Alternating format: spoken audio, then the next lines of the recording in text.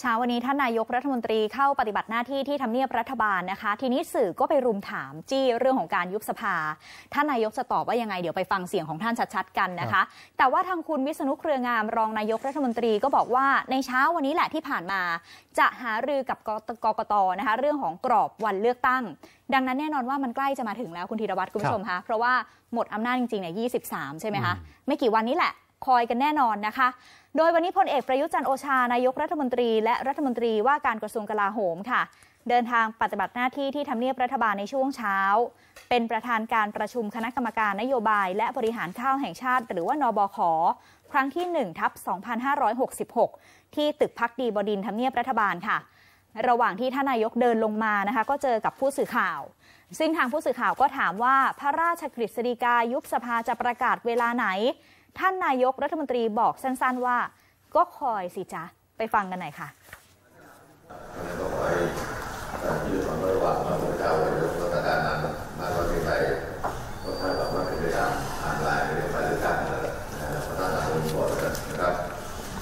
ผมอยากจะย้ำเตือนอืมก็มีการตอบนะคะว่าก็คอยสิจ๊ะ ให้รอกันก่อนนะคะ อีกไม่กี่วันนี้แน่นอนค่ะ นอกจากนี้ทางคุณวิษณุเครืองามรองนายกรัฐมนตรีก็ให้สัมภาษณ์นะคะว่า ท่านนายกรัฐมนตรีได้นำพระราชกฤษฎีกายุบสภาผู้แทนราษฎรขึ้นทูลเกล้าแล้ว และคาดว่าจะลงประกาศในราชกิจจานุเบกษาเมื่อไหร่ก็มีผลในวันนั้นค่ะ เมื่อผู้สื่อข่าวถามว่ามีการนำพระราชกฤษฎีกายุบสภาผู้แทนราษฎร ขึ้นทูลเกล้าไปแล้วหรือยัง แล้วก็เมื่อไหร่ คุณวิษณุบอกว่าเรื่องนี้ตัวเองไม่ทราบเหมือนกัน และเมื่อถามว่าในพระราชกฤษฎีกานี้มีการระบุวันที่หย่อนบัตรเลือกตั้งเอาไว้ด้วยหรือเปล่า คุณวิษณุบอกว่าไม่มีการระบุ เพราะว่ารัฐบาลมีหน้าที่ออกประกาศพระราชกฤษฎีกายุบสภาผู้แทนราษฎร ส่วนวันเลือกตั้งเป็นเรื่องของกกตเป็นผู้กำหนด ส่วนประเด็นที่ในอดีตพระราชกฤษฎีกายุบสภาผู้แทนราษฎร มีการระบุวันเลือกตั้งไปพร้อมกันคุณวิษณุบอกว่านั่นเป็นสิ่งที่เกิดก่อนรัฐธรรมนูญฉบับปัจจุบันได้มีการเปลี่ยนแปลงค่ะ และเมื่อถามว่าวันเลือกตั้งน่าจะเป็นวันที่ 7 พฤษภาคม หรือ 14 พฤษภาคมไหม